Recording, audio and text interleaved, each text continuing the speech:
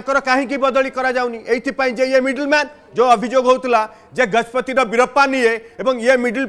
जे जो मैंने जंगल काठ मफिया टा जा जंगल मंत्री पाखक आए भाया संग्राम केशरी बेहरा ये मिडिल मैन सारी शिवानंद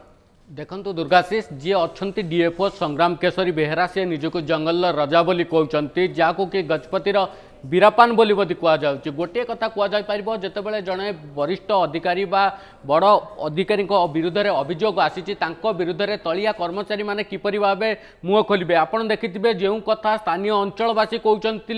ଆମେ ଯେତେବେଳେ ଗ୍ରାଉଣ୍ଡ ଜିରୋରୁ ରିପୋର୍ଟ ଦେଖାଉଥିଲୁ ଯେତେବେଳେ ସ୍ଥାନୀୟ ଅଞ୍ଚଳବାସୀ କହୁଥିଲେ ଯଦି ତାଙ୍କୁ ସେହି ସ୍ଥାନରୁ ତୁରନ୍ତ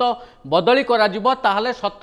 ଶୀଘ୍ର ପଦାକୁ ଆସିବ କାରଣ ସମସ୍ତେ ହିଁ ମୁହଁ ଖୋଲିବେ ଯେଉଁ କଥା କୁହାଯାଉଥିଲା ଡିଏଫ୍ଓ ସଂଗ୍ରାମ କେଶରୀ ବେହେରା প্রথমর এই ঘটনাকে বিবাদকু আসিছেন কিন্তু যে অভিযোগ আনিলে অভিরাম মহাপাত্র যেতবে গজপতি পুলিশ বা পারলা কেমুডি পুলিশ ঘটনার তদন্ত করুলা এসএফ সৌম্যরঞ্জন মহাপাত্র যেতবে সরকারি কোয়ার্টরক জবত করা যাই তাপরে ঘরর চাবিকাঠি দিয়া যাই ডিএফও কু তবে এটি প্রশ্ন উঠুছি ডিএফও ঘরর চাবিকাঠি কণ পাই দিয়া যাই এবং সে চাবিকাঠি ছদিন ধরি কণ পাই রয়েছে তাঙ্ক পাখ নিকটরে যদি গোটিয়ে কথা কুয়া যাই পারিব যেতবে অভিযোগ আসুচি যেতবে জনক বিরুদ্ধে তিনশহ দুই ଦୁଇର ଦଫା ଲାଗିଛି ତାଙ୍କୁ ପୋଲିସ ଯେପରି ଜେରା କରିବା କଥା ତାହା କରିନଥିବା ଯେତେବେଳେ ପାରଣା ଖେମୁଣି ପୋଲିସ ବିରୁଦ୍ଧରେ ଅଭିଯୋଗ ଆସିଥିଲା ବର୍ତ୍ତମାନ ସିଧାସଳଖ କ୍ରାଇମବ୍ରାଞ୍ଚ କାଠଗଡ଼ାରେ ଛିଡ଼ା ହେଇଛି କାରଣ ଆପଣ ଦେଖିବେ ଯେ ତଦନ୍ତକାରୀ ଅଧିକାରୀ ଅଛନ୍ତି ଜ୍ଞାନରଞ୍ଜନ ମିଶ୍ର ତାଙ୍କର ଯେଉଁ ଅଡ଼ିଓଟି ଆସିଥିଲା ସିଏ ସବୁର ଖୁଲାସା କରିଦେଇଥିଲେ କାରଣ ଯେଉଁ ଡିଏଫଓ ଘଟଣାରେ ସମ୍ପୃକ୍ତ ଅଛନ୍ତି ତାର ବିଗ୍ ଏକ୍ସପୋଜ୍ କରିଥିଲୁ ଆମେ ଅର୍ଗସ୍ ମାଧ୍ୟମରେ କିନ୍ତୁ ଗୋଟେ କଥା ଆପଣ ଦେଖିଥିବେ ଯେତେବେଳେ ତାଙ୍କର ପ୍ରଥମେ ଆସିଥିଲା କି ଯେତେବେଳେ ଜ୍ଞାନରଞ୍ଜନ ମିଶ୍ର କହିଥିଲେ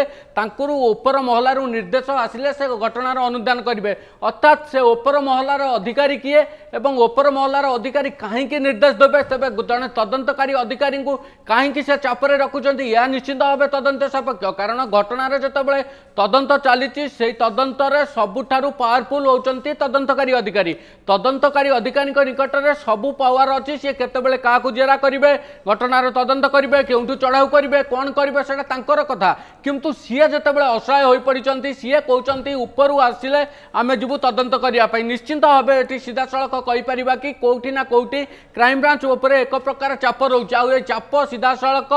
ଯେଉଁ କୁହାଯାଉଛି ଉପର ମହଲାରୁ ଆସୁନାହିଁ ତ ଏହା ନିଶ୍ଚିନ୍ତ ଭାବେ ବଡ଼ ପ୍ରଶ୍ନ